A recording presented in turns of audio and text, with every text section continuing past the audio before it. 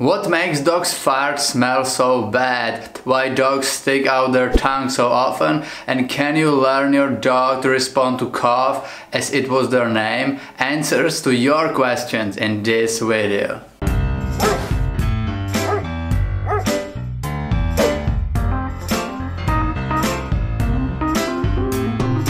Hi, it's Radim from Rocadog and welcome to second Rocadog Q&A where I'm answering your question from Quora.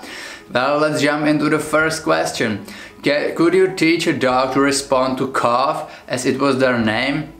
Well, technically you can, because dogs don't know that the Charlie, Andy, Buddy, uh, it's, that it's their name. They, for them, it's just a sound that you use to bring their attention. That is why they turn their head towards you or they run to you when you say their name. When I was younger, we had a dog that knew his name, but he also recognized my dad's unique whistle. He would always run towards us when my dad whistled at him.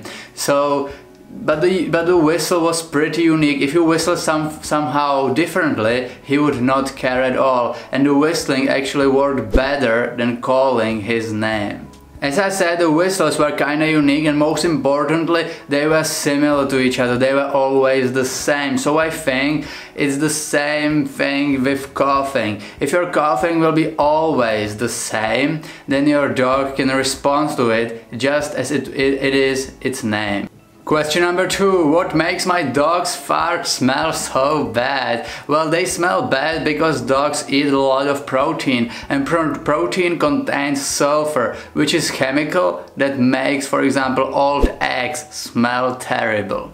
The smell is also caused by bad diet. A lot of grain in your dog's food will make the dog's fart smell a little bit worse. So try and find the best quality dog food you can. It, it might make the problem a little bit less annoying. By the way, I'm pretty sure that the dog's farts smell bad for us, but for them, for dogs, it's symphony of scents. Question number three. Why do dogs stick out their tongues so often? Well, sticking out their tongues and panting is dogs' way how to cool down their bodies. Because dogs don't have the option of sweating, so they use other ways how to cool down. Sticking out their tongue is one of them. They breathe the cool air into their nose and breathe out the hot air through their mouth. And just like people, when we are stressed, we sweat a lot and dogs when they are stressed they stick out their tongue and panting heavily just like we do.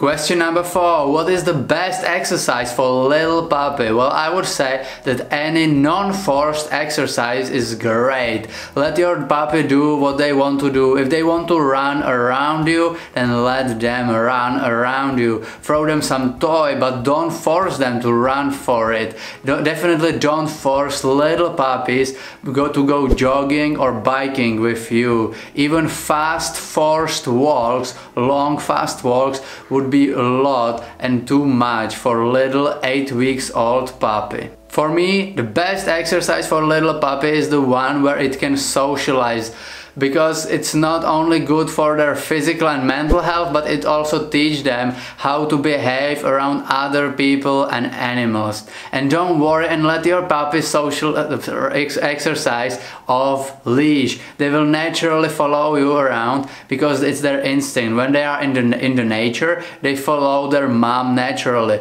And because they are with you, you are kind of their mom, so they will follow you naturally. Don't worry about that. So for me, the best exercise is non-forced off-leash run in a park with some other people.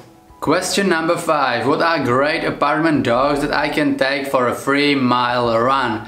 And I think that Greyhound or Whippet is the great choice for you because inside they are total couch potatoes. They will sleep all day long in their comfy bed. So they are great apartment dogs. But outside, running is their biggest passion and they will love to go jogging with you. It's something they were born for. And if you like bigger dogs, I think the Greyhound is the best choice for you. And you can make a good deed and save retired racing Greyhound. Another good choice, this time smaller one, would be Jack Russell Terrier, but they are way more active inside than Greyhound, or they are more active outside than Greyhound, and they are more active than any other breed probably. They are one of the most hyperactive dog out there. But since they are pretty small, they are good for apartment living and they will love to go running with you. They will love to go playing fetch, cycling, scootering, jogging, hiking. Well, you name it, they will love any activity at any day, at any hour. They are really hyperactive dog breed. Question number 6. Do you like dogs or cats and why? Well, this channel is all about dogs, so I think the answer is obvious that I'm more dog person, but I think there are good things about both animals. And now I will tell you why I like dogs more. The reason I like dogs more is that they are better and more active companions. They can do a lot of activities with you. Long walks, hiking, jogging, cycling, swimming, etc. etc. Dogs are also trainable, cats are not. If you have some experiences and the right breed, some breeds are more trainable than the others, you can achieve a lot with your dog. Just look at some talent shows and see what dogs are capable of. Third reason is that dogs are much more friendlier. If you leave your dog for an hour alone, he will welcome you just like you were gone for 10 years, right? I never seen this behavior with cats. Dogs are also much more versatile. They are not only great companions, they can be great guards, protectors, herders, assistants for blind people, emotional supporters. They can work with police and army, saving people in mountains. They can sniff drugs. They are so good at so many things that cats can't do. And the last, fifth reason I can think of right now, there are more reasons for cats and for dogs obviously, but the last reason is uh, completely subjective, but it is that in my opinion dogs are much more better looking and cuter than cats. And the last question is, do you take your dog to dog park? Why or why not? Well, I don't have dog park in my city, but when we are on a trip where the dog park is, then I take them there. The biggest benefits of dog parks are socialization, obviously. It's the benefit that there are other dogs and other people and your dog can run with them, play with them and just meet them and learn how to behave around them. Socialization is the biggest and most important thing to learn your new puppy. It's much more important than training itself.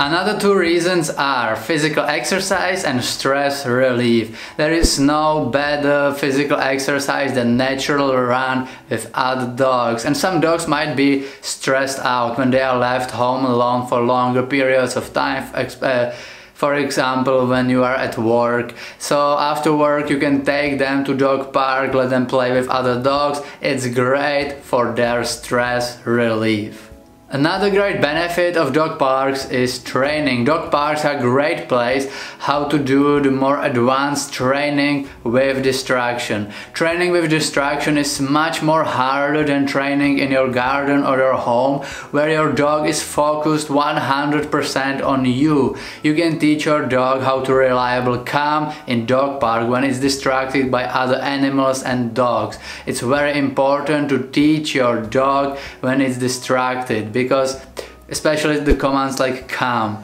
you must know that your dog will reliably come to you even when they will see some dog or some bird or any animal so the dog park is great place to teach them that but there are some bad things about dog parks as well. The biggest and the main disadvantage of dog park is that you can run into aggressive dog. Well, there are not only good dogs in dog park, there are also some dogs that are not socialized or trained well.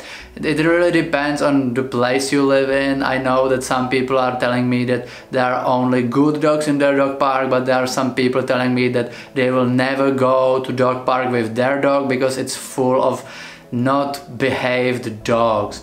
So this is the biggest danger that you will run toward into aggressive dog, especially if, you if you have a little puppy, it can cause a lot of troubles in the future when your dog, when your little puppy is attacked by some other dog. So be very careful uh, and choose carefully the dogs you will let your dog play with. If you have any other question, ask me on Quora or here in comments. I read all the comments. If you are new on this channel, consider subscribing, turn the notifications on and check our Facebook and Instagram links are in description. Thank you for watching and see you in the next video.